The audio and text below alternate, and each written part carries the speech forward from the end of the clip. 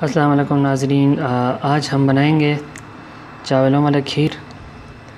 اور کھیر بنانے کے لیے ہم نے لیے تقریباً ایک سے ڈیڑھ کپ کے قریب چاول، جس کو ہم نے بھگو کے رکھا ہوا ہے پہلے سے۔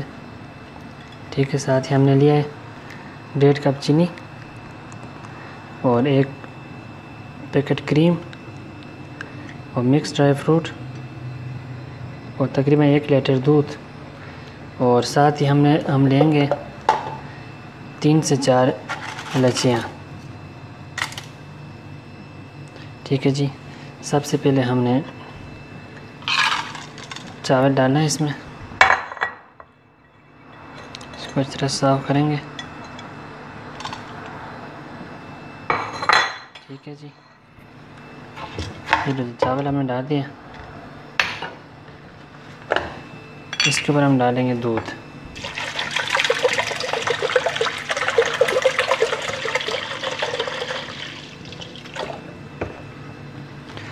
جگہ جی دودھ تقریباً ایک لیٹر کی گاڑی میں ڈال دیے۔ اب ہم اس کو رکھیں گے آگ پہ۔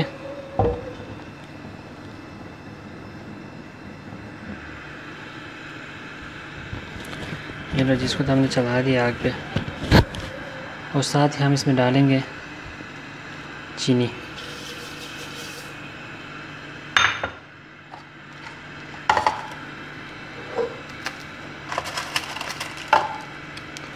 اور اس کے ساتھ ہی اس میں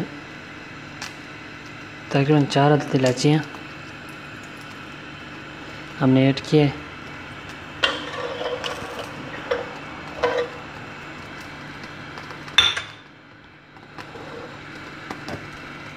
تھوڑا سا اور دودھ ڈال دیتے ہیں۔ یہ جی تو ہم نے مکس کر دیا ہے۔ آپ اس کو پکائیں گے چاول کے گلنے تک۔ اس کے بعد ہم اس میں ایڈ کریں گے کریم جی تو ناظرین، یہ تقریباً پک چکا ہے کھیر اب آپ اس میں ڈالیں گے کریم اب اس میں کریم ایڈ کریں گے۔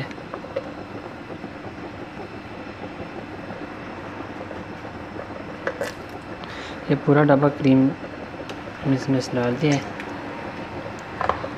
اب اس کو اس طرح سے مکس کریں گے۔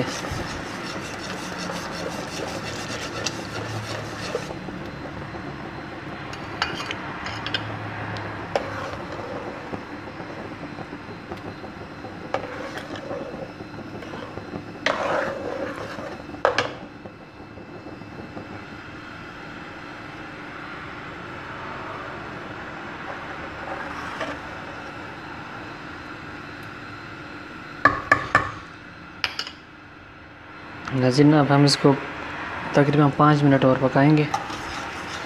اس کے بعد ہم اس کو اتار دیتے ہیں۔ جی تو ناظرین کھیر تقریباً تیار ہو چکا ہے۔ اب ہم اس کو ڈونگے میں نکال لیتے ہیں۔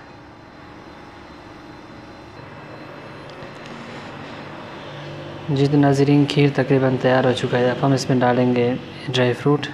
Dry fruit mix تھے اور ہم نے کوٹ کے ان کو باریک کیے، اب اس کے اوپر ڈال دیتے۔ ہیں